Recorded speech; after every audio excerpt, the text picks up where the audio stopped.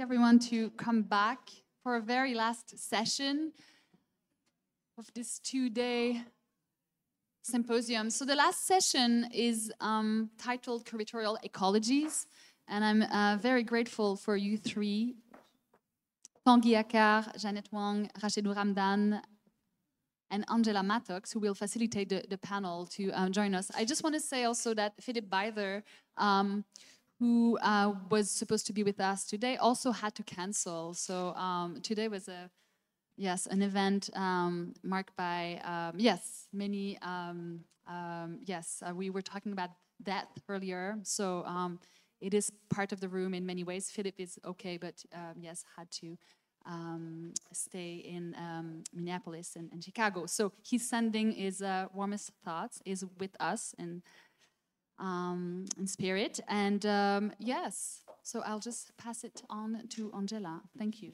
Thank you, Noémie. Um, and thank you, Villa Albertine, for hosting this.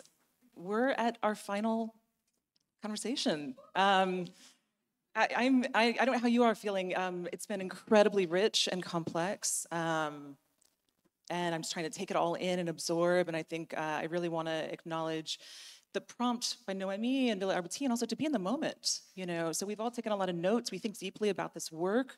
We are embedded in these practices, but I'm, you know, I'm processing in this moment too of everything that was shared, and I really want to um, thank everyone's candor. And um, for this final panel, bringing in that level of urgency that I think that has been a thread throughout the last two days, and maybe continue on with themes of hope and theme, themes of aspiration and themes of um, the future.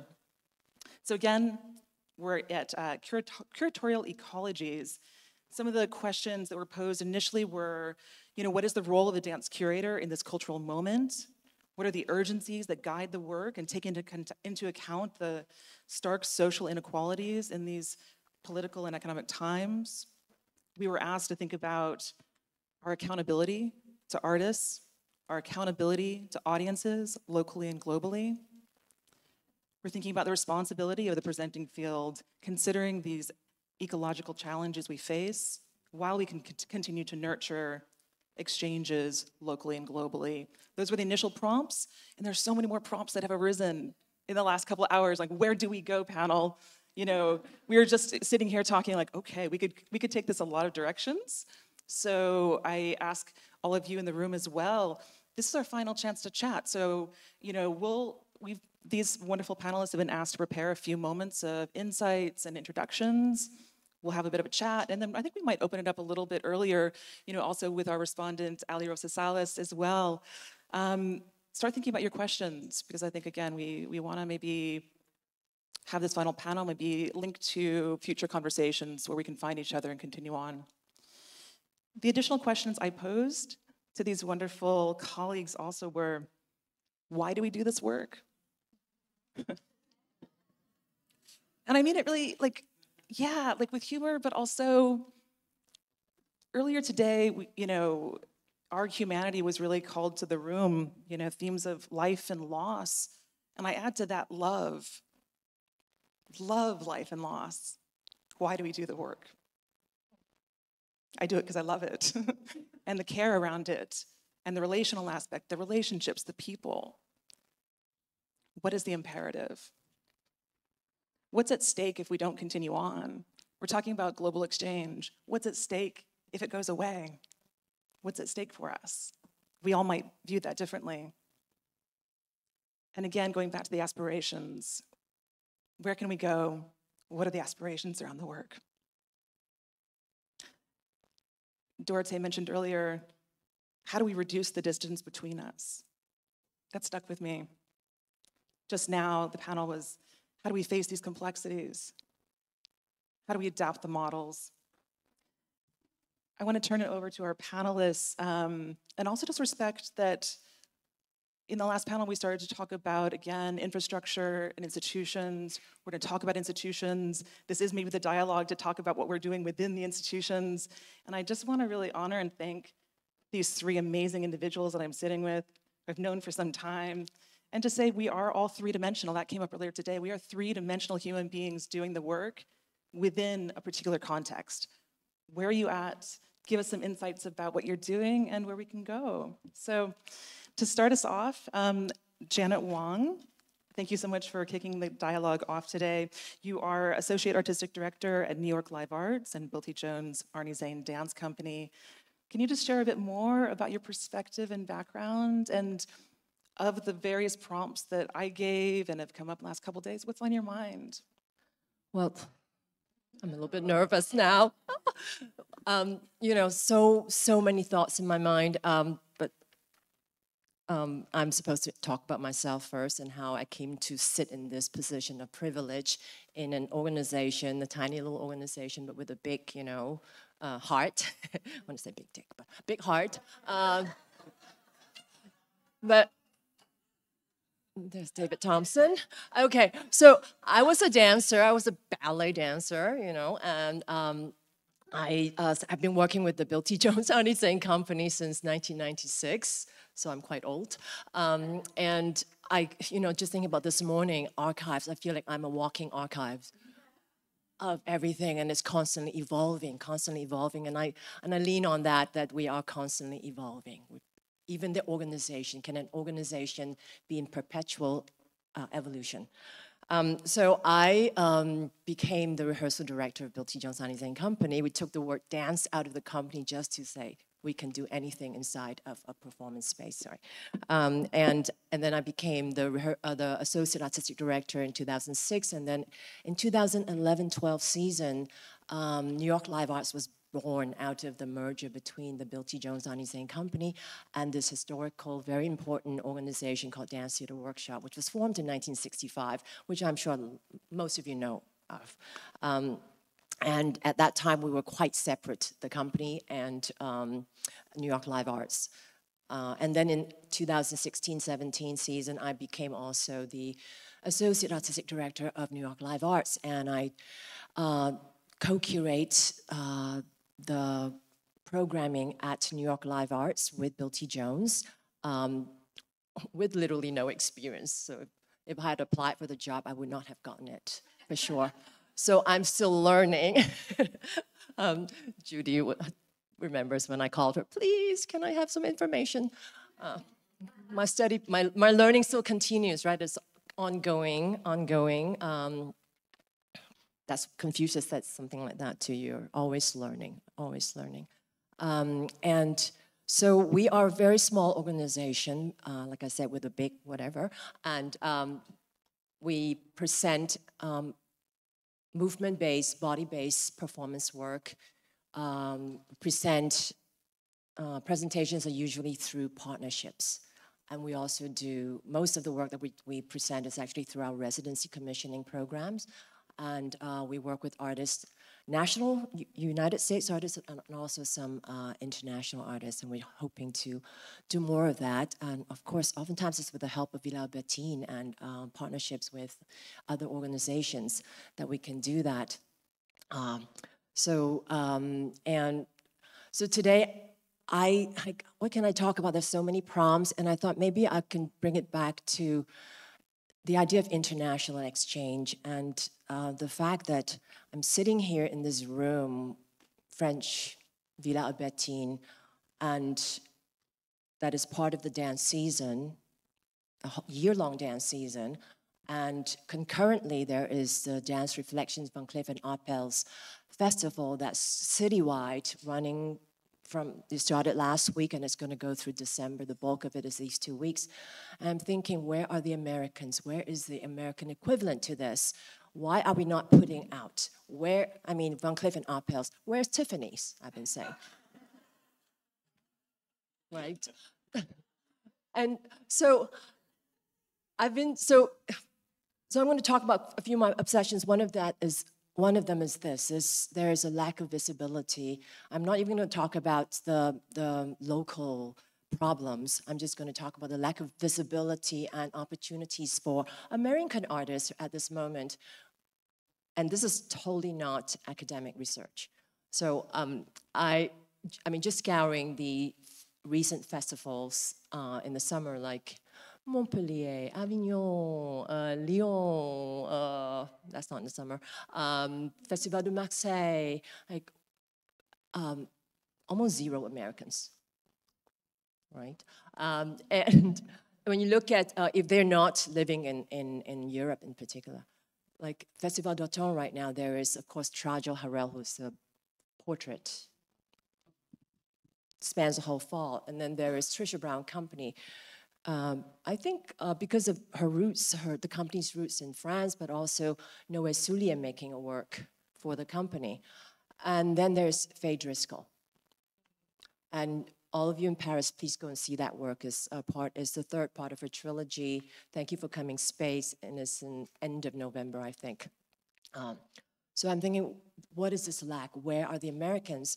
And in my capacity at New York Live Arts, we try to create a platform for the artists to share their work, especially during the January conferences, APAP um, and um, what's the other one? ISPA, the international version of it. So we do this thing called Live Artery, where, where the whole building's taken over. We have studio showings, we do uh, fully produced performances in uh, the theater, and uh, we even started a salon in the lobby. So the whole space is uh, taken over. And so please come back in January. That's the chance where you can uh, to see American artists and also international artists. Uh, and we are limited by, you know, physical space. We have a very small space and also time uh, because it's limited and also funding. And, um, but this year we are, this next one, we're gonna expand outside of a wall and, you know, partner with uh, organizations to create more opportunities. And, you know, the way that other countries support their cultural export I can only be so jealous. Like, for example, the French, of course, and also Canadians, the Germans, the Koreans, the Taiwanese, the Finnish, the, oh my God. If you've been to CINARS, I, I was invited for the first time to CINARS uh, this past, last year, last year, and uh, which is a Canadian APAP. And um, there were almost no American artists present because you need the subsidy from, this, from your country to be there. There were maybe two or three booths from Americans. There's a whole exhibition hall there. But then there is the Scandinavians, the whole, that whole region. You know what I'm saying? They came together and they supported the artists. There was a German showcase. That was like, damn. Right? And people were asking me, people who run big festivals, dance festivals, they said, what is happening in the United States? So I tried to invite the chairman of the NEA, the National Endowment for the Arts. I just cold emailed her, uh, Dr. Maria Rosario Jackson, and Michael Orlove, who's in charge of uh, international partnerships. Said, come to the symposium, see what's happening, see, you know, see what is not happening. And they have their annual arts council, right? Uh, today, actually, so they cannot be here, but we're going to report, send them a report I also invited uh, people from the Mellon Foundation. And of course, Emil is part of that Arts Council, so we're also going to report to them. Um, I like to cold email people.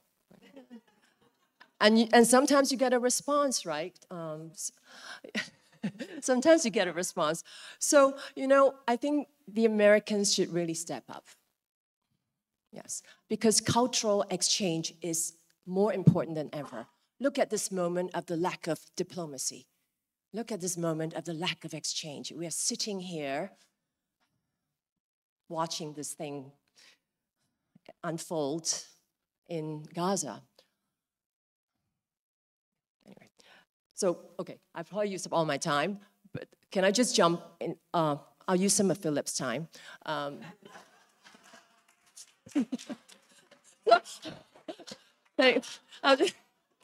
so the, my second obsession is about the environment.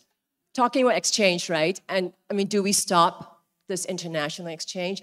I don't think that's the way to go. I know there are artists that say, okay, I'm going to stop making work that I'm, I'm going to find another way. I'm going to just send concepts across the pond and then they can make it up. That's great. That's another way, but not everyone can do it. There's something about face to face.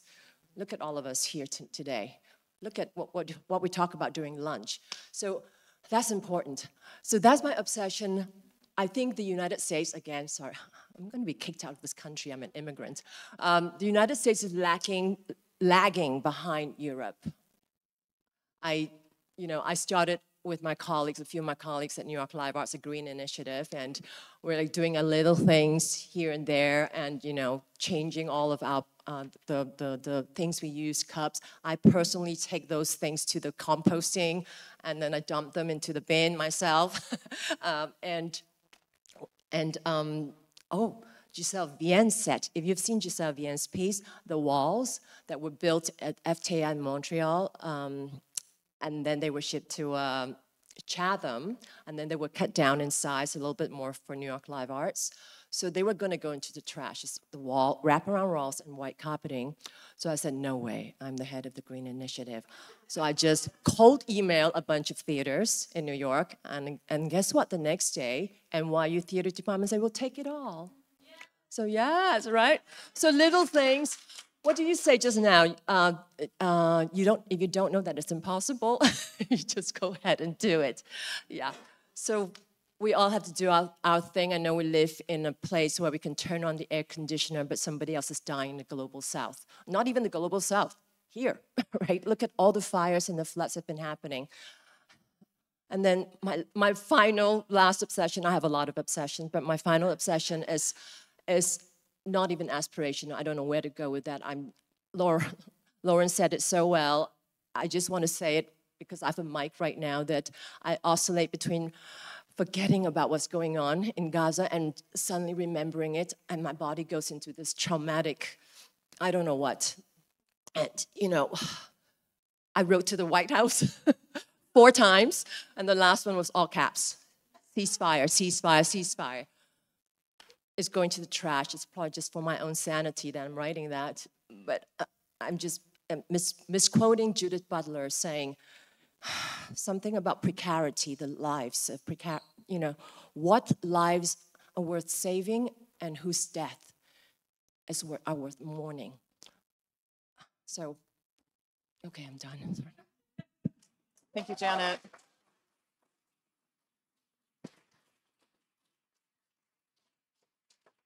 Thank you, Janet, so much. Um, I hear you on all of those and the, uh, the being in dealing with issues and ideas in real time in multiple places. And it goes back to what we're talking about today around what's happening here, what's happening afar, and what's in the body around it. Thank you for sharing that. Tanguy Accart, I'm going to turn things over to you. Is your mic working? No, maybe. Um, sweet, thank you. Uh, hello. Yes. Hello. Tanguy, welcome. It's great to have you. Thank you. Uh, thank you for your uh, word and uh, it's inspiring and this energy you have to put in. Um, I am Tanguy Accart and I'm uh, the, the deputy director of La Maison de la Danse and director of development of La Biennale de la Danse. It's my first trip overseas since 17 when I, uh, 21, for, yeah, 21 it was, uh, I spent four years in Chicago. I had the pleasure to live in that uh, extraordinary city. I fell in love with the city and I had the position of cultural attaché. So I know a bit about uh, the United States, especially the Midwest, that no one from France knows. So that was an exciting experience for me to make this uh, extraordinary territory. And it, I think it's interesting because it gives you a another story of the United States also. Uh, so maybe I have later some time to tell about some experience and thought through my uh, work in Chicago, but for now I will be more uh, serious and I took some notes that I wrote uh, to this night, during the night, I would say. So um, so I've been working in uh, La Maison de la Danse and La Biennale de la Danse uh, since 21, so it's recent. And I arrived with uh, Tiago Guedes, the new director of both institutions. Uh, Maison de la Danse and Biennale de la Danse are two very distinct cultural organizations, but they have that specificity uh, to have a, a common direction. Uh, and when Tiago uh, applied, uh, we had to present a project for the two organizations, thinking the complementarity, uh, the common spaces between them uh, in order to highlight a kind of unique model uh, for dance, for creation, for artists, and for the audience in Lyon and abroad. The principal missions of both institutions, to, to be fast, is to promote access for all to culture and especially dance, and to support and make visible the work of artists. More specifically, uh, Maison de la Danse programs a large diversity of dances and aesthetics from local to international. We do ballet, neoclassic, contemporary, uh, very established or emerging artists, uh, traditional of urban dance, uh, but also cabaret or circus. Uh, we have a theater with 1,100 uh, seats and one studio of 100 seats. And Biennale de la Danse, uh, whose last edition uh, just took place uh, last September, is more about inviting local audience, but also professional, because it's also a professional platform, uh, to explore the actuality of dance at the international level. Uh, there was about uh, 15 countries represented through the, the, the, performances that we did invited the last edition, and is much more involved in new forms of creation, saying that about 40% of our program uh, where creation and French premiere this, to, to this, uh, this year. At La Maison de la Danse, we program about 50 shows during a season for about 140 uh, representation, which make about uh, more than 100,000 tickets and spectators. At La Biennale, we presented last September 48 shows in Lyon, uh, the Lyon Metropole, but also in the region, uh, in 50 different venues, and we have a total about uh, 50,000 tickets. I mention all that because I think it's important also to, to know about practical question, and I wanted to mention the number of tickets because uh, contrary to received ID and uh, assumption that I've heard sometime from the US side, uh, box office is a very important and crucial thing in France too. Uh, and it's a lot of uh, work and communication and and work of outreach to get people and potential the audience into, into our theater. So as an example, the financial equilibrium at La Maison de la Danse uh, uh, is based on 60% of own resources and 50% from box office.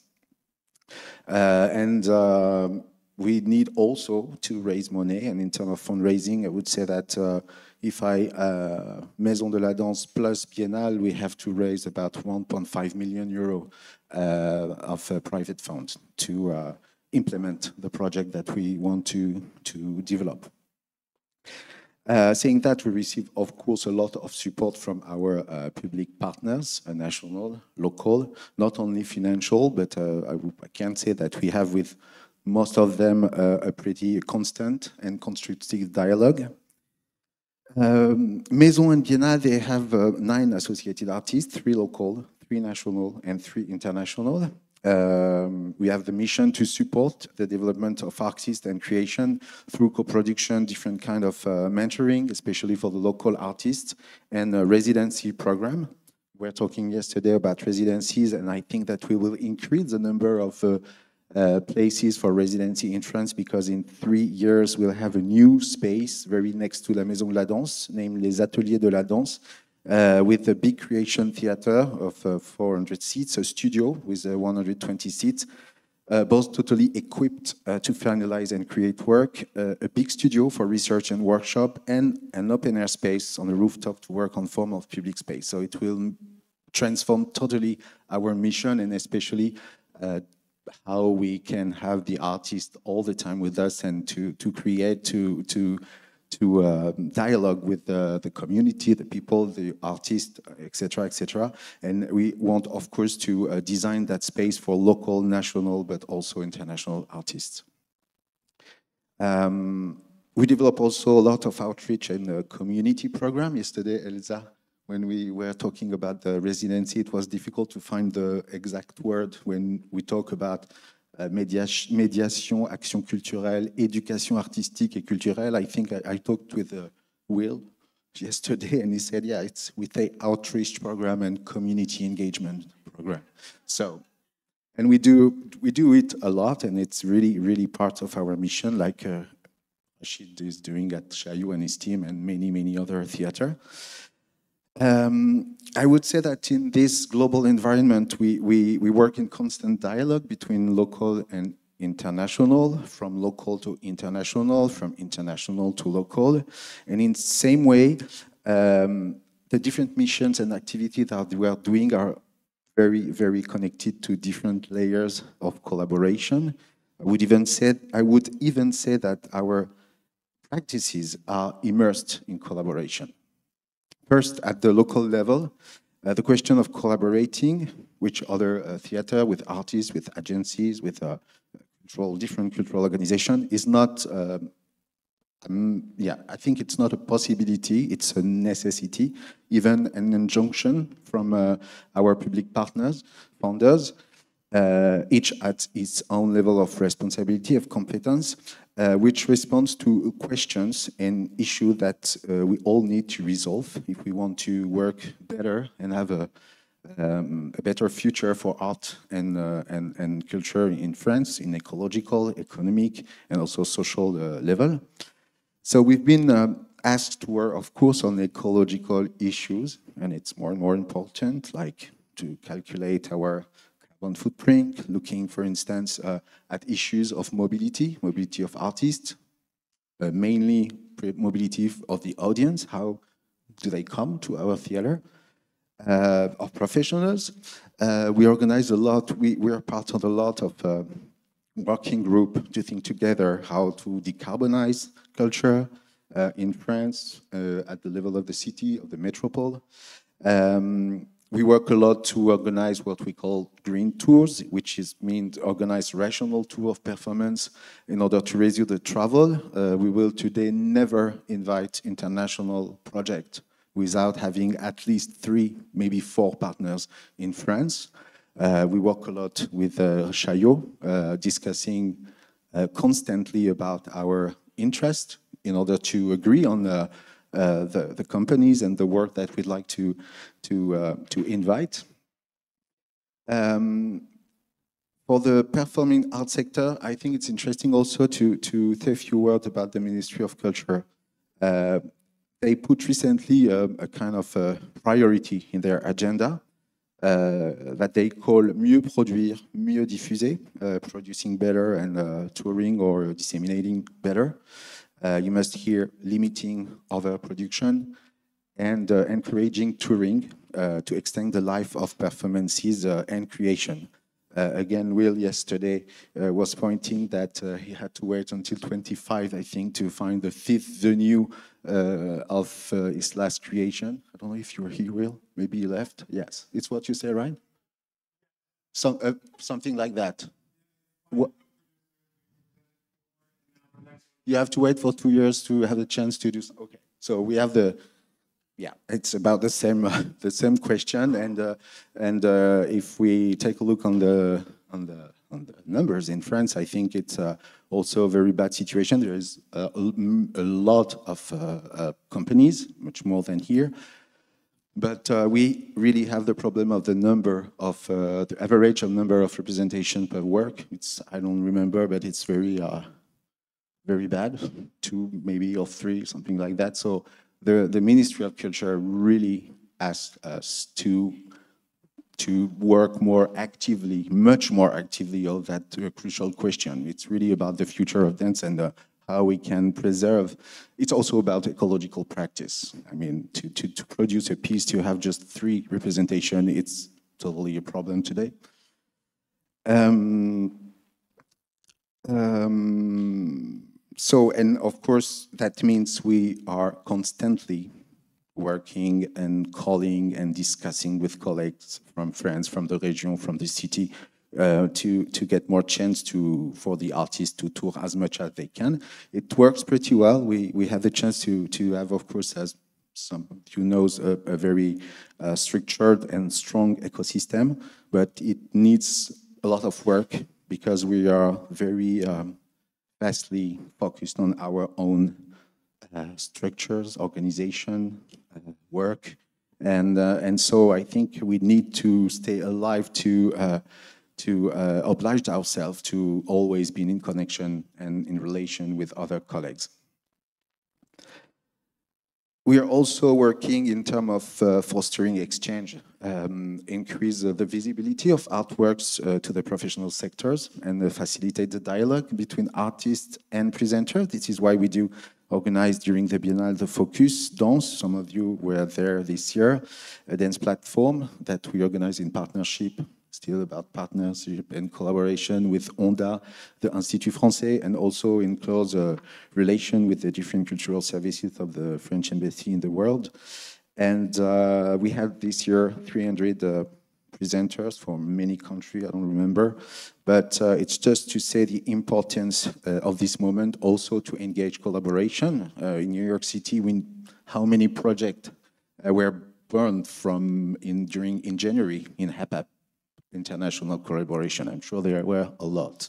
And I was happy to, to read that the, the rebirth about the Under the Radar, not only for Under the Radar, but I know that that kind of festival can uh, give an impulse to bring people from abroad and uh, engage dialogue. And uh, I'm not sure, I don't know, it was from since the, the end of COVID to now, but I'm, I know it was pretty bad in New York. So I really hope that that kind of uh, encounter will, will be very positive for all of you and all of us, actually.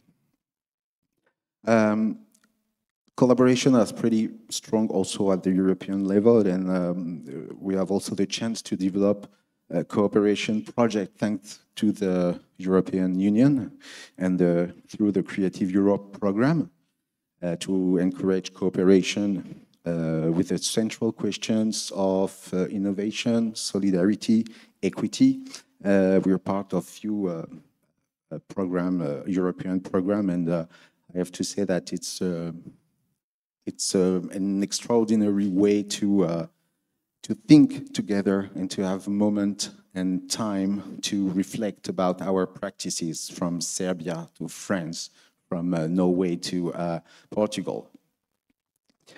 Um, thinking now about extra uh, European exchanges, uh, the question asked in this panel resonates a lot with another meeting that we organized during the Biennale. Uh, which title was uh, Building Together What Form of Cultural Cooperation to Cope with Social Change. So we do a lot of meetings like that, and I think it's uh, important, but it's not the only one. And this title has been transformed by the, the sentence, a very beautiful sentence from a, a, a group of uh, artists and cultural workers uh, that I read in a book named Reshape, uh, name of a European project that aimed to imagine new ways of transnational exchange. Um, and the name of this was Building a Dream of the Generosity Solidarity Shelter, Rethinking Transnational Collaboration in a Changing World.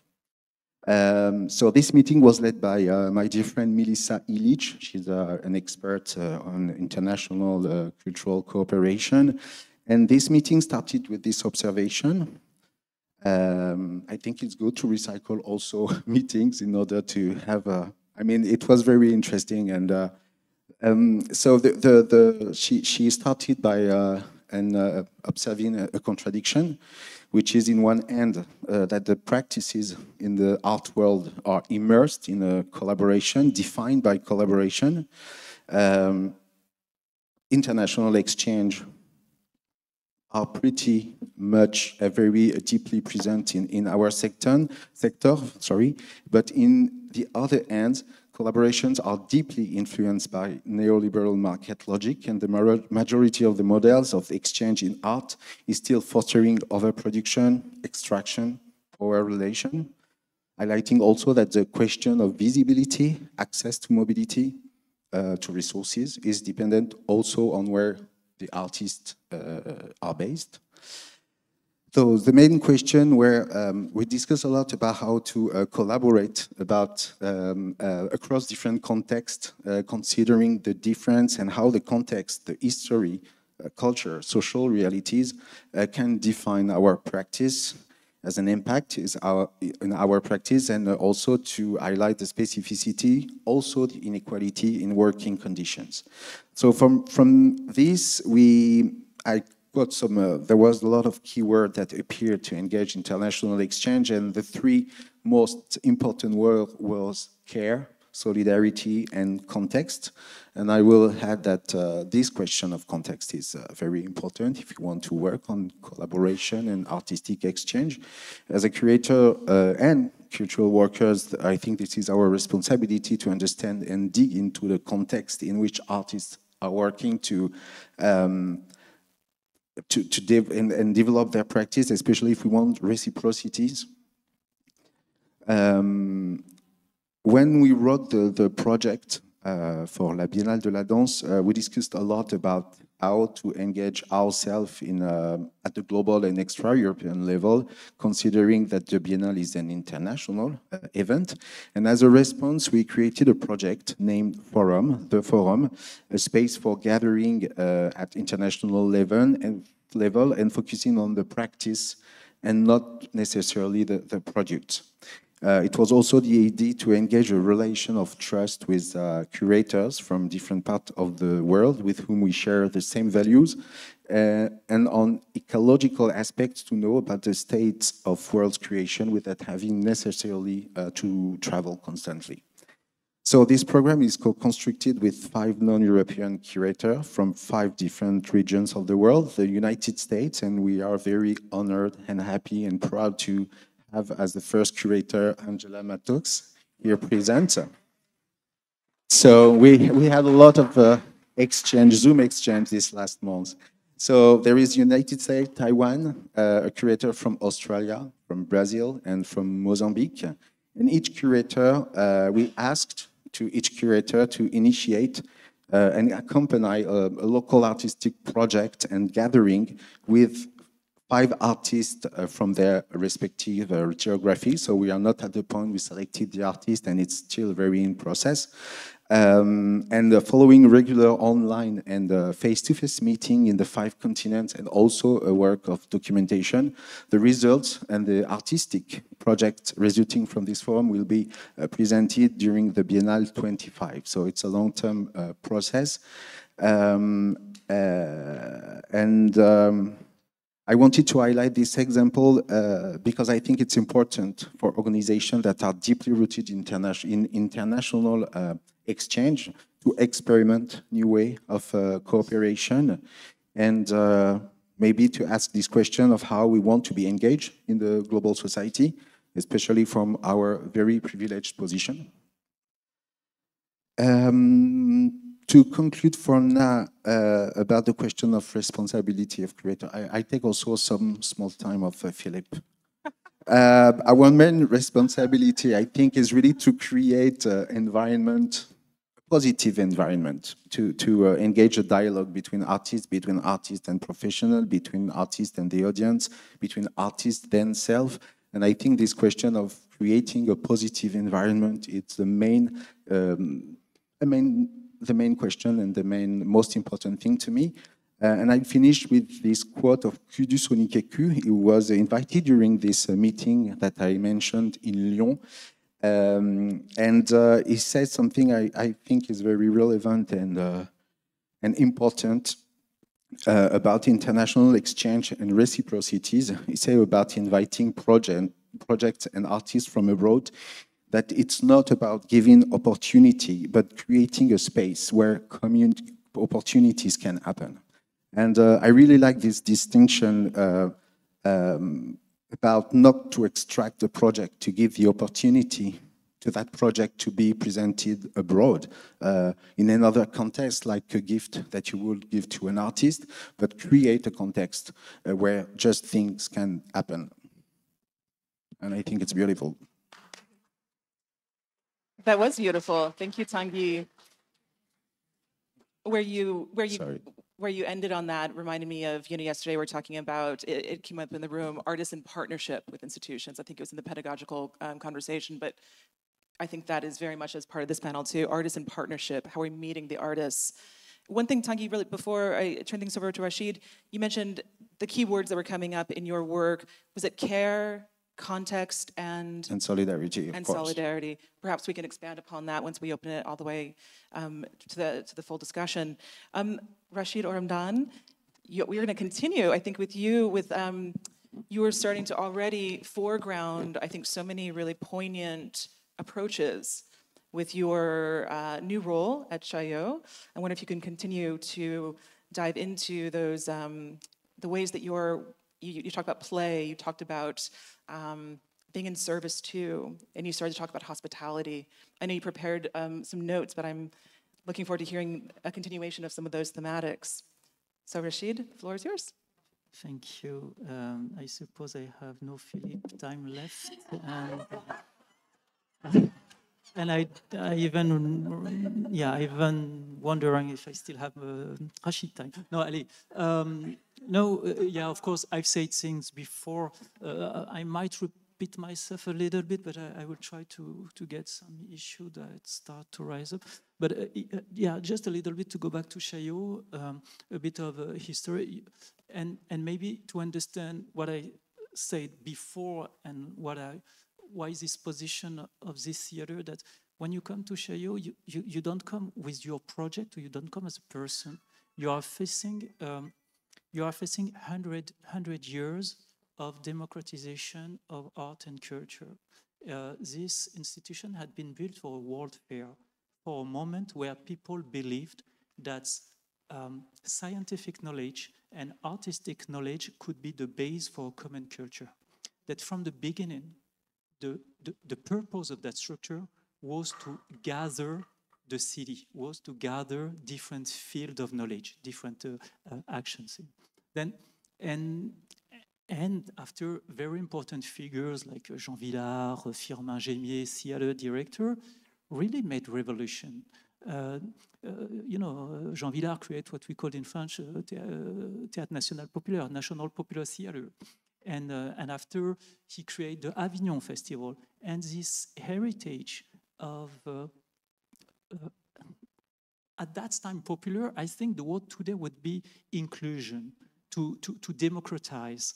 Uh, because what we, uh, the, the popular uh, practices in the 20s are different from the 60s, from the 80s, because since then we, we, we receive all those multi cultural knowledge. Um, we, we, uh, we, we, are dealing with genders issue. We have integrated the revolution of digital world. Then what make popular and what federate uh, is totally different today than before. But just to, to, to say that because leading Chaillot means to, to try to federate all those fields and to bring culture where culture is not. The idea is not to make people to culture. It's to bring culture where there is no culture. Uh, sorry, there is always culture everywhere. Where there is no art, certain art practices, or where art practices and culture are damaged.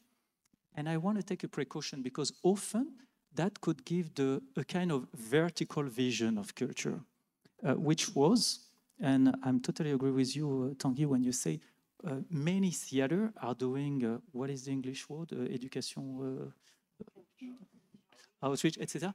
But, but I think that what is important, again, referring to what I said before, it's to not be vertical, to, to, to, to make emerge everything which had been invisibilized and to not have a messianic approach of culture, like I bring you the light.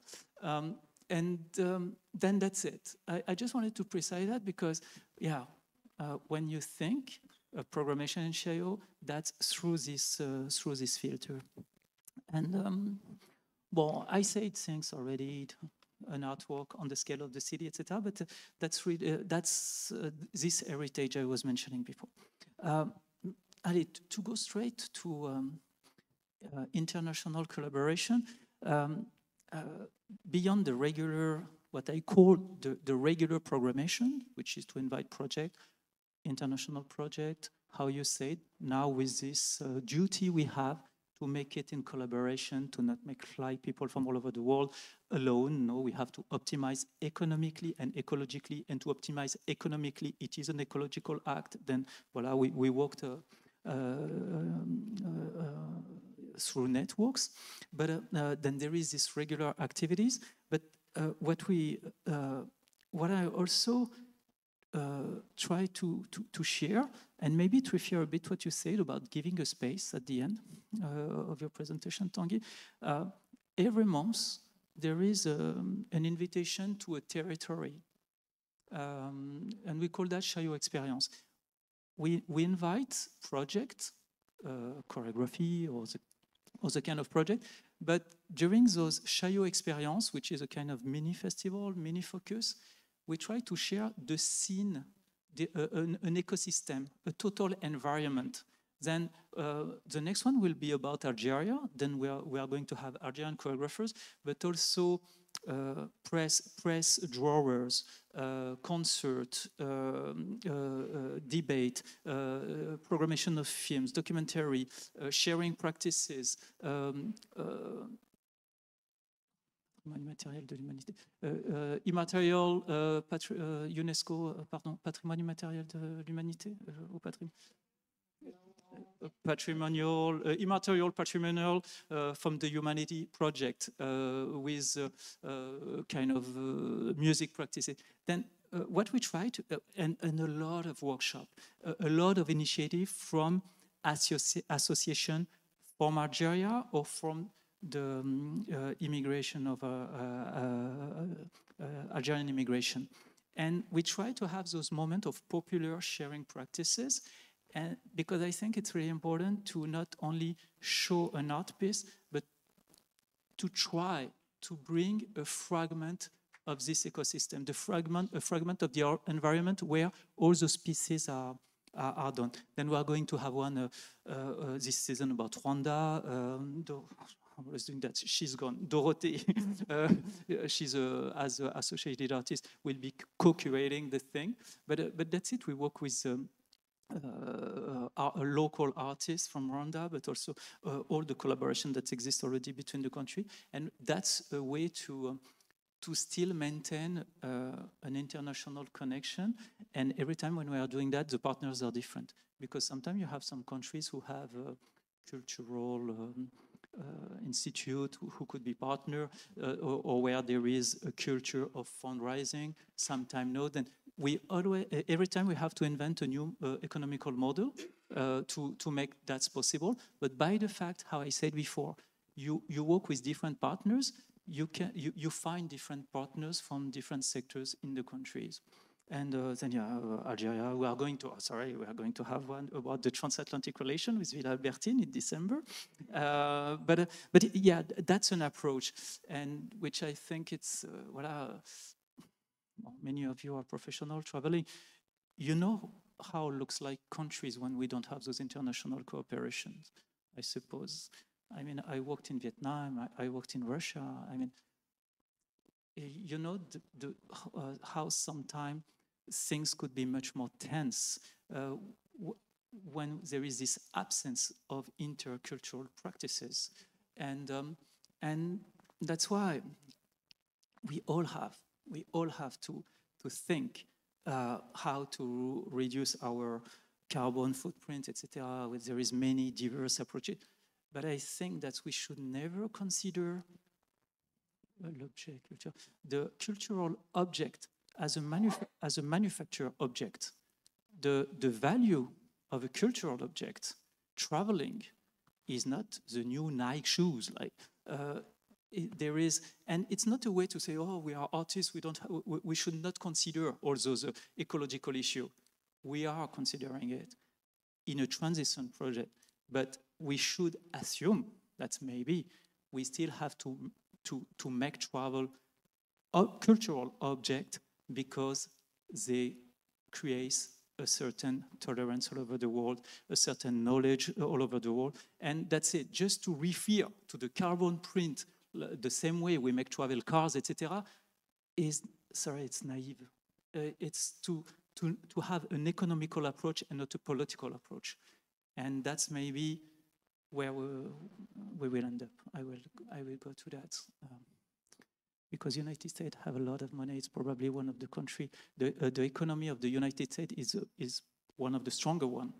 And often we hear that there is a problem in the country to support art, comparing countries who have not a so strong economical. Con but I will go that to the end. Um, uh, and then uh, that's it. And also what we try to do, um, uh, uh, uh again, just to give an example of uh, how to say nourishing, nourished um, cooperation, we developed this program of um, uh, holiday camp, artistic holiday camp, because we have to focus on supporting the artists. But I think that if we don't create citizens who have a, a taste for art or taste for cultural practices, then uh, it's a kind of uh, van, uh, empty basket every time, like, because we, we have to federate the, the strengths for creation, but to, to, to also construct the people that will appreciate and enjoy uh, the, the, the, creation. Then we have different programs like those Holiday Camp, inspired by what uh, Alvin Ailey Foundation have done during many years. Then during two weeks, the kids, especially vulnerable kids that we are working with, uh, uh, have uh, dance uh, movement practices. Uh, we try to also mix sports and uh, dance practices because we know the potential that sports practice, uh, uh, uh, the, the, potential that sports have to federate um, uh, uh, the, the, the youthness and they just realize that through sport they can start to reach other yeah they can approach arts dance is everywhere. Dance is in fashion, dance is in sport, dance is in cinema, dance is on the social network, dance is on the, uh, the, the, the uh, um, uh, ah, pardon, I need my list in English, well-being, cinema, research, the, in the music industry. And all those domains are doors to reach dance, but not only in a mainstream culture. And that's after the, the work we have to do. But, uh, I would, I would totally assume to use sometimes those, uh, those very popular key to introduce dance. We are doing, I have a very, uh, I have an associate artist. He's a rap singer. You can see his movie in Netflix. He's a really nice and interesting person, really well known, Kery James in France. And uh, the way he has to federate people when he's doing something. He opened the door to audience that you never see in our institutions. Because often uh, I'm going in theater and say, yeah, you see, we did a show and we met come like 20 people from the neighborhood. Uh, and they are, yeah, but it's uh, uh, like if it's complex and if it's, we always have to be in a very small scale. It is a way, it is important, but I also do believe that uh, we have to always try to use the tool that allow us to act in a very wide scale. Often, no, I, yeah, I like because sometimes uh, people from different uh, uh queer community, not uh, it's not, but um, I like to remember that when David Bowie did Ziggy Stardust, that was a world phenomenon. It was not only something for uh, that's people reduced to uh, uh, uh, my, my community minoritaire. Then, then that's it. I think it's, it's always interesting to try to, to think in terms of scale and which domain can open the door to a wide art practice. Um, neighborhood. Yeah, the, allez, um, to, um, a bit provocative, I think that we are facing the market world, uh, the market world, how it works so far. I really think that we are facing a wall, co-producing and uh, just uh, uh, uh presenting the show. I think that the end of this model. Uh, I, I, am really, really ready to, to speak about it, but it's what's going on in France at the moment. When an artist have no job, the only, uh, as a dancer, the only way he, he has to go on is to create his own company and, and, and, and, and that's saturate the network. And the infrastructure are not enough. And if we don't create the possibility for choreographic art to exist in a wider scale, in different domains, uh, uh, if we don't use all the potential of this discipline, and if we just focus on the economical aspect of this model, which was relevant for a moment, but now this model doesn't work, and we are just uh, fitting though. And and then that's those perverse, that's those perverse uh, reaction that uh, some models had so far. Then I think the international collaboration we could have are to this other kind of cooperation, the one I was mentioning before with Faustin Linyekula about his place, the, this, this one with those holiday camps that we are having already in a, uh, abroad in Republic Democratic of Congo. And um, then, um, yeah, just this, and about ecology, uh, uh, the, the, the chain of collaboration is very important, and you, you remember it, Tanguy, because at the moment, it's what is hard, because it's very easy to say mieux produire pour mieux diffuser in French, which means to produce better, to, comment on dit diffuser, to, to tour, to, uh, voilà, to disseminate better. But Actually, the thing which is behind, it means then you have to cut the head, because it's what it means. It means to give more money to certain people and to show longer certain people. Doing that, I mean, uh, you don't have to be very good in mathematics.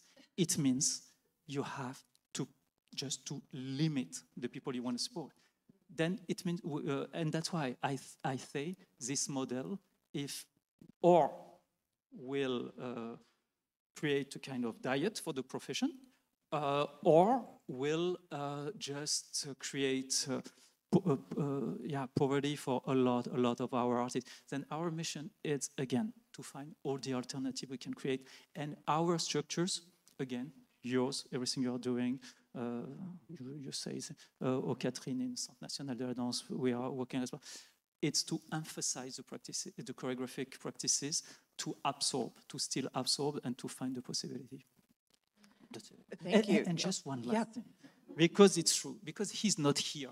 Because uh, um, no, no, but uh, uh, yeah, uh, you mentioned uh, Van Cleef and Arpels, and it's true that uh, we need those partners, and in a long-term process. if and that's where I wanted to come, because I think that the the support should be political first, not economical, but political first, because there is money uh, in different countries. But if there is not the political choice to put it on promoting art and to, put, to support art in the long term, we are going nowhere. And that's, that was a bit the, where I wanted to go, speaking about the economy of the United States. But it's true that, Van, uh, for example, Van Cleef and Arpels, and uh, you say that, Janet, uh, really, really uh, bring a support because they believe, they believe in this society with art practices, with uh, fine arts, and uh, and lucky we are for that. I don't know where I'm going with this, but, but I'm, uh, I end up with that.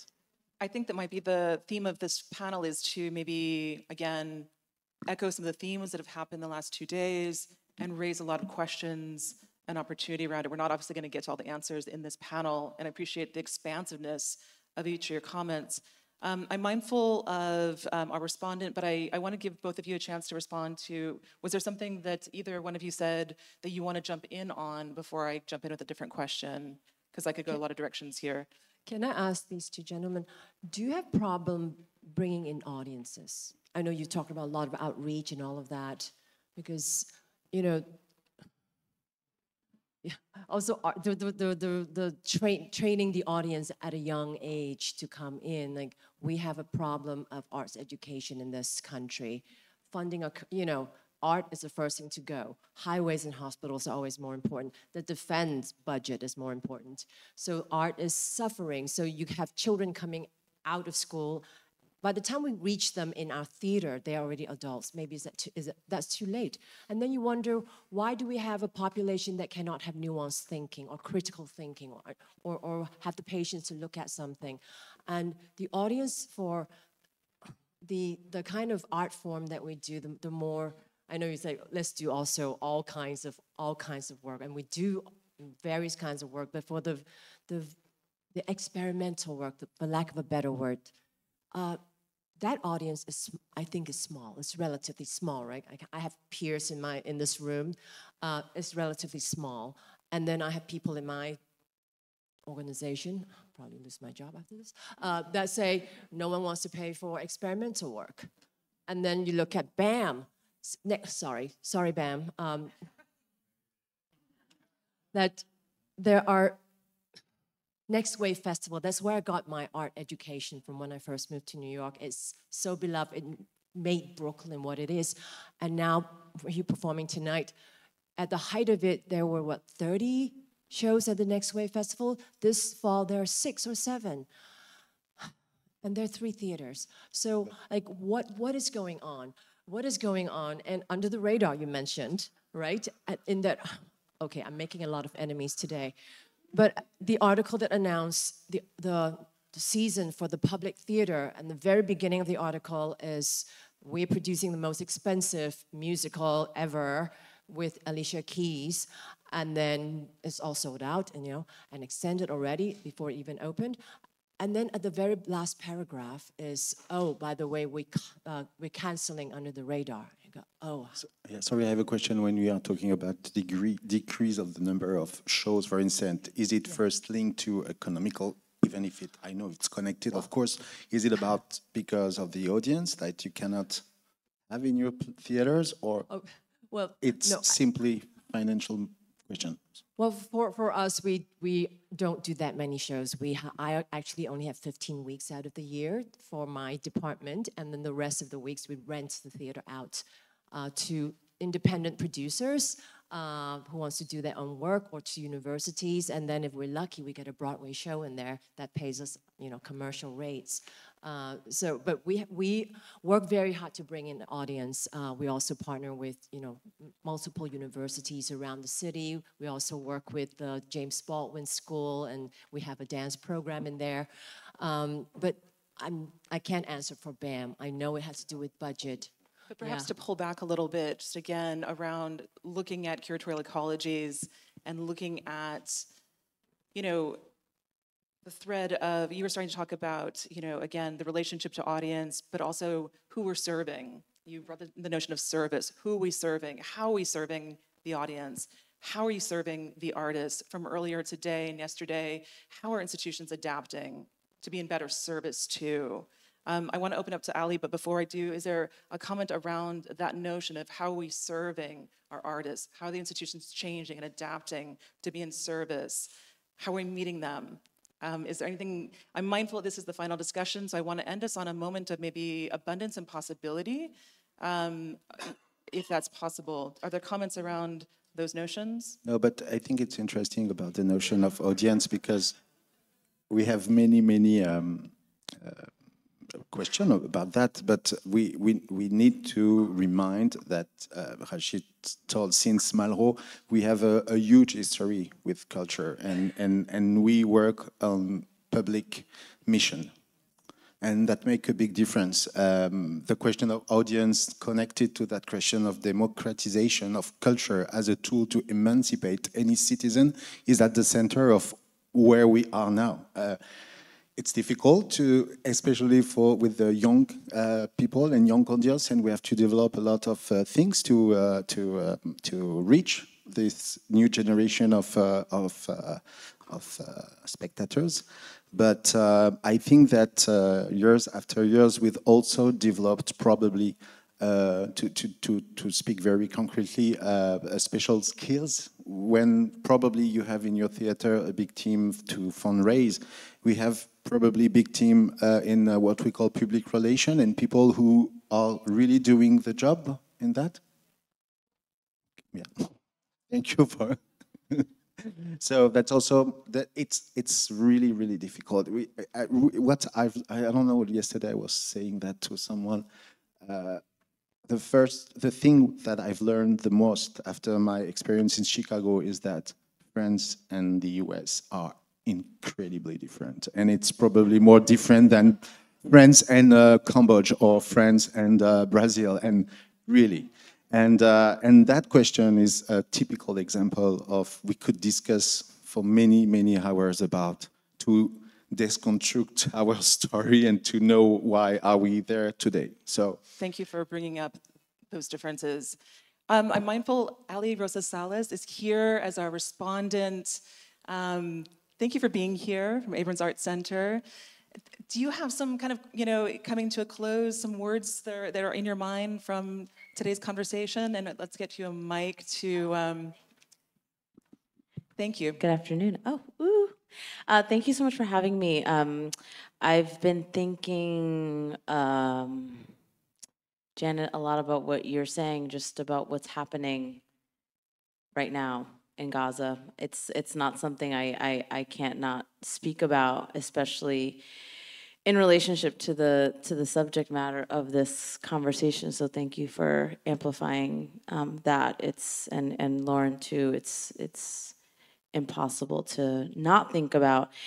And it's made me um, return to a question that I've just been, that's been in the Tumblr cycle of my brain, I think since I've started this curatorial work, um, is around institutionality and the, the fact that institutions are people.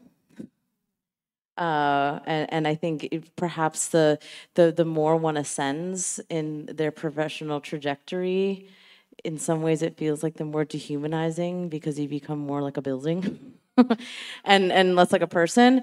And i and i and i do but i i always try to hold to the fact that institutions are people um, and people have subjectivities right and and and so subjectivities define are defined by lived experience which shape values and then it, because people make up institutions they're making decisions that are values driven um, and distributing resources and making decisions based on those values, right? And so I, and so what, one of the many things that keeps me up at night um, is is is how this conversation around values and and subjectivity relates to curatorial practice, and and my deep dissatisfaction with I think the depersonalization of the curator um, it, in the sense of their the reason why curators are interested in this work is because of their point of view that is deeply political and is deeply context driven and is rooted in time and place and identity and all the things that we need to be talking about right um, and so, and so, blah, blah, blah, preamble brings me to thinking about in this particular moment. I think the art, Artforum letter was brought up. We live in a, in a culture of statements. And I'm thinking a lot about the role of cultural institutions in this particular moment. I mean, always. I mean, that's why, Angela, to your point, why I do this work is because I deeply believe that arts and culture shifts the paradigm the capacity to cre think creatively is is what will save us. Um, but I but I think about integrity, right? As it relates to curatorial practice, as it relates to values, as it relates to subjectivity, especially in a time like this. Like, what is the role of cultural institutions in this really historic moment that we're all uh, uh, facing in horror? If you have a, a brain and a heart. Um, and how does integrity in curatorial practice sort of factor in? Like how how is that word sort of sitting with each of you as we navigate this moment and the and the future of, of what it is that we're endeavoring to do in this in this work. So that's my question. Thank you so much for entertaining it. Thank you. Does someone want to take that on in terms of Rachid, Tanguy? Yeah. Um, if I well understood, uh, I hope I was clear. Like, I think that's all the. Um, you speak about integrity, and I heard empathy. Um, work at the moment, and maybe referring to what we are trying to say from before with this word of ser service. Um, it is it is through this lens to um, to be sure that our function um, is uh, in, uh, enough well informed to have enough empathy for all the problematic that the diversity we are having confront us. Complex word to say it, but that's that's what leads us as a as a curator, as a programmer. I don't like curator because it gives the feeling that's the to, the active position, but I really see myself as a person who gives space and hospitality in terms of giving space. Not hospitality in terms of we are going to well receive the audience, the artist, etc. No, to be sure that's, uh, for example, we create a Yusnef's Council to be sure that they are uh, then they come, they have the power to, uh, we give, uh, they will have the budget, uh, they, they, can propose um, manifestation to gather people, and we try to work with them. Uh, when we work with the community of voguing, we say, okay, then what could be the next step for the uh, the ballroom, like etc. etc. Then it's more by giving spaces uh, and to be sure that to to to try because how I said before, the strength to repeat models is always here, and sometimes it's totally unconscious. But uh, that's I would say that's uh, what I'm trying to have every day when I'm receiving a proposal, when I'm speaking with someone.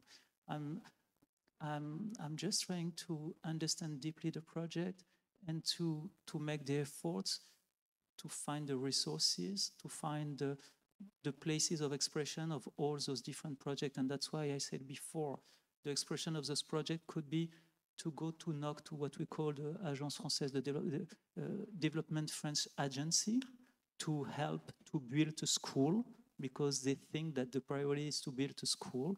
It is to work with people from Minister of Education because they decide recently to to have um, uh, 30 minute practices uh, uh, every day in the school. Then uh, uh, which uh, then dialoguing with the teenager to see if we can make a, a video tutorial where those people with, with artists, and then we try to um, I don't know, to, just to emphasize the artistic practice. And sometimes it is just by receiving someone for for uh, a proposal on stage and to keep going. And I don't know if that's answering the question, but I, I would say that's that's um, what is um, the, the, the, the, thing that uh, lead uh, Chaillot every day. Janet, did you have um, a, a response as well? Well, Ali, thank you for saying that institutions are people also and that we have values. A very dear old friend of mine who passed away in 2020 during the pandemic, she was 90 years old. We asked her, she's one of my favorite people in the world, we asked her, so how do you teach young children morals? And she said, you don't, you teach them integrity, you show them integrity, you, inst you instill that in them. So integrity is so central. And I also like to think uh, of institutions as related to people, not just that they are run by people, but that in, an institution can also embody values that, um, but it starts with the, the individual and it's then the family, then the village, then, oh, that's Confucius, then the city, then, then, but you have to take care of this part first. Sometimes I don't know how to move uh, because I cannot represent my, my, my thoughts may not represent the, the, the, um, the organizations.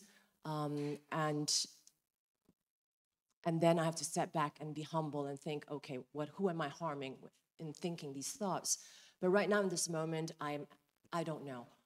We have not discussed this moment within the organization just privately. And um, I'm very, very troubled by that, by this country. I am uh, kind of ashamed at this moment of this country and other Western countries too. Um, but um, yes, I don't know if that answers your question at all.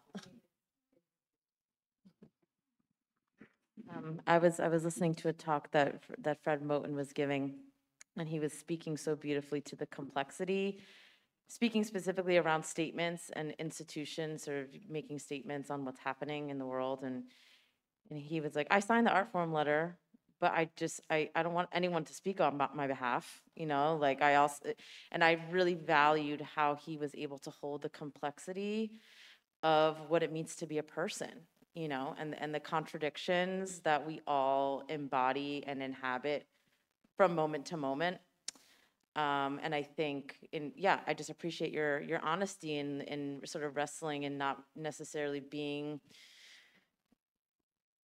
yeah, being in, a, in, in that sort of curatorial like leadership and being someone to have to have a vision in moments that are so um, emotionally and psychically charged. I think that we just all have to be more honest about about the complexity and about the and, and about the contradictions and multiplicities that we all inhabit. So thank you. Thank you for that, Ali. Um, I'm looking at Noémie because I know we're at time. I know Rachid has a, a, production schedule at BAM, but I just want to echo the, encourage the honesty and encourage the, the generosity, the curiosity, the transparency, the the new models that were hinted at today. Um, Noémie, I'm going to pass it over to you in terms of time to guide us around either further questions or if we need to close. I, I want to thank the four of you, Angela, for, yes, um, steering the conversation in such, um, um, yes, beautiful, um, rich ways, and also to the three of you for your thoughts, um, provocations. So we're going to just pause here because Rachid has to go. Um, thank you so much, Rachid I hope um, we you're all going to see the performance tonight or tomorrow at BAM. And then um, I don't know if you want to stay here as we take a moment to uh, wrap up together, um, or if you, um, you know, it's also a, a, way perhaps to open for questions. Um, and um, yes, I can also start by offering a few thoughts. Um, we also had a, a, little statement from Philip. Um, I was wondering if maybe we can just, um, I would just read a few sentences, uh, put um, these in the room. Um, Philip um, is bringing to attention how fraught this global moment is and yet wants to call for greater international exchange, why it matters, maybe especially at this at this time. Um, and I'll just read you the last um, part, perhaps, um, saying hope lies in new models emerging in longer, deeper residencies, in multiple modes of new digital exchange, in collaborative and this diversified curation systems, in local global exchange rooted in the specifics of distinct localities, in ecologically minded reinvention of touring, in new global alliances and shared research systems, building greater trust between artists and curators, audiences and organizations, founders and institutions, and between diverse global partners will help point the way forward. Finding new ways to sustain the power of the collective live art experience is the essential work of our time. Um, and so I, I want to say, um, I, I want to thank everyone, you know, the panelists, but everyone in the audience also to um, have uh, been willing to engage, um, you know, in this experiment, I would say. Um, I know we've covered, I mean, or it feels like we've branched out in so many areas. And um, yeah, I feel very grateful for um, the kind of time and labor to um, engage in um, the different works, you know, that, that you do. you know, hearing from perspectives from curators and dancers and archivists and um, and and and and you know makers. Uh, it feels very valuable at this um, time. And I just want maybe to go back to you know this idea of reciprocity, which um, you know as I mentioned yesterday in opening, um, you know just as I've been thinking about it, um, I find very striking in this idea that you know it's it is a kind of moving back and forth, right? It is, it, there's, a, there's, a, there's a practice to it, it seems to me, right? It never can be just a given, but it's something that we have to revisit and, and sustain over time. And surely time has been a word that recurred for the last two days, right? Yesterday um, was very present in regard to the residence, residencies, um, but also about pedagogy, right? Um, to be reminded that um, yeah, dance dancers are maybe not just available, as you know, Noe um, suggested, and, and also um, Josh reminded us. Um, so this idea of creating partnerships or relations, right, over time uh, with dancers, and, and but but also I think across uh, institutions and, and, and borders is um, um, yeah very meaningful. And uh, so um, yes, I wonder if we have thoughts or questions. It's you know, it's not easy to, uh, um, but maybe just just to say time and and and and bring back Dorothée's you know from this morning. Then the the gathering of the dispersed, right? Um, the gathering of the dispersed as as as a as a kind of collective practice, right? That um, I feel like many of you are doing already and you know the respective practices um, um, I, yeah, it feels like a beautiful, um, um, yes, and, and, and actually quite potent way of thinking of the work. Um, yeah, questions? Ah, thoughts, yeah.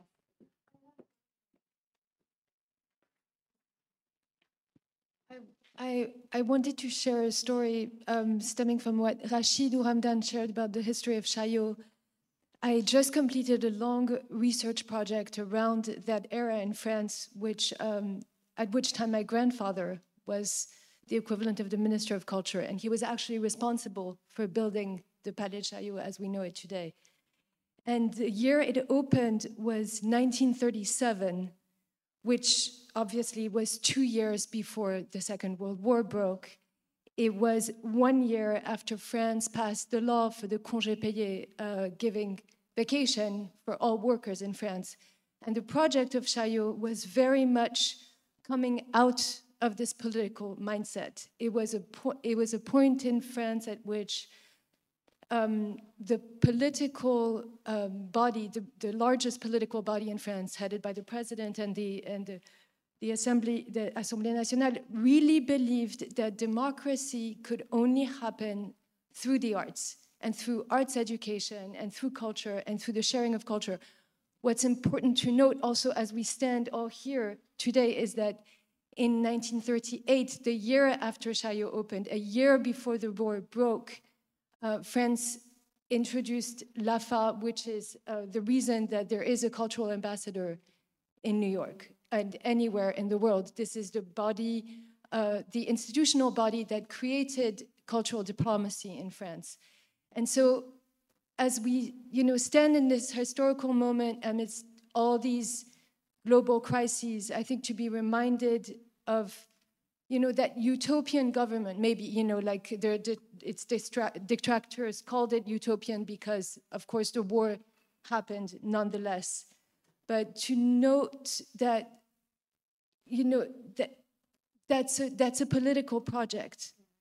Arts education and, and bridging these worlds and creating um, spaces where arts can be disseminated for all is a political project amidst the global crisis that we're facing.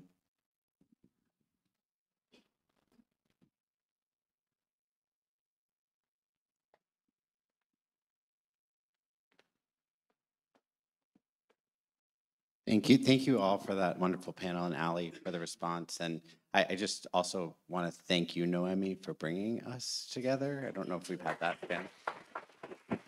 Um, Really. Um, and thinking about that work and and the curating ecologies, I thought I'd just throw something in there, which I started to wonder, like, can you curate an ecology? And what happens when we try to curate ecologies? And then we have like Central Park right outside, which is such a curated ecology. And we've done so much destruction trying to curate ecologies uh, rather than trying to attend to the ways in which they thrive and they live. Um, and I and and just to the to the comment then about institutions being people, it made me think of one of my favorite quotes from um, Wilfred Bion, psychoanalyst, because um, I often thought like institutions are people, and like somehow now being in an institution, running an institution that doesn't feel uh, that's like still hurts to say that. So I started to turn to this quote where Bion says, um, the problem with all institutions is that they are dead, but the people inside them are not. And there's something about that that feels just in this room to say that like like constantly looking for what is alive in these like things that we inherit, these institutions we inherit, um, not to lambast institutions, but to say we're always in some ways working against the forms we've inherited. Um, that that makes me wonder, like, you know, when we're curating, are we curating towards, this is a conversation I've had with Noémie, which is why made me just a full circle, want to thank you, is like, what would it be to curate towards something other than the performance, than the event? Um, and so I just enter that as a sort of open-ended question into the space.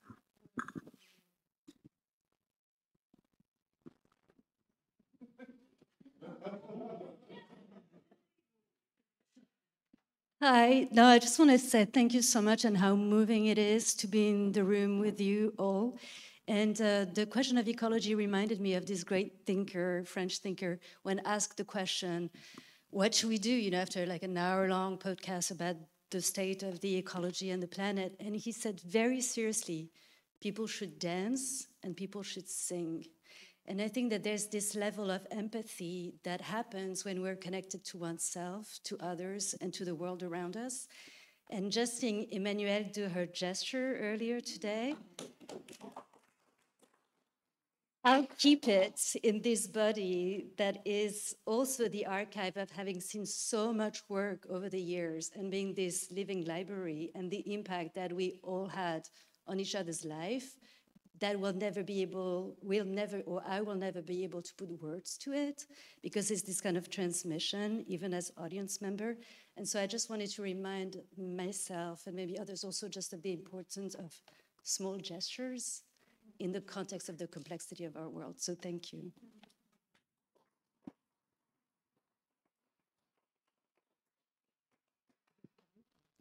Um, I'll uh, want to thank everybody, Noémie and Villa Albertine and staff. Amazing. And this amazing community of um, creators, thinkers, um, great sense of solidarity. I just want to bring it back to the incredible, wonderful um, comment and um, enlightened reminder to us about what it means, um, what arts do for cohesion, for democracy, and especially relevant to us in New York, in an, an American system, where, as Janet and many others pointed out, how much we benefit from European support. And it's uh, bringing productions that have been created with um, European taxpayers' money and European state support and um, what do we do to disseminate our own work? At what prices? What kind of access we create for our audiences, where, where American taxpayers also support the system of tax exempt institutions. However, very few people percentage wise, uh, percentage wise benefit from access and attending those institutions as um, Janet reminded me, I also remember the times when it, for $7 I could go and see Pina Bausch at BAM in the 90s um, and check out the prices now for any international productions that come to BAM and many other institutions and how little access actually people have. Uh, for us uh, presenters, and I'm one of the presenters, I run PS21, upstate New York, um, it has direct relevance because we do not cultivate our audiences. Uh, we don't, um, through these kinds of um, systems of exclusion, of economic exclusion, we don't cultivate our audiences. So it's just um, a, maybe an appeal to solidarity to pay attention to this, um, that uh, we have to really also, as individuals, make an effort to um, work for our institutions and encourage our institutions not only to um, disseminate the work through accessible pricing, but also, uh, more importantly, reach out to communities, very wide communities, and make a special effort to engage those communities in residencies and participatory work, and also in, uh, in attending those institutions. And lastly, um, the generosity of French um, embassy and Villa Albertine also why not guys joining us in this effort of actually um, requesting that the prices for the productions that you so generously fund are also accessible uh, to the widest um, populations in this city and elsewhere. So thank you so, so much, everybody, again.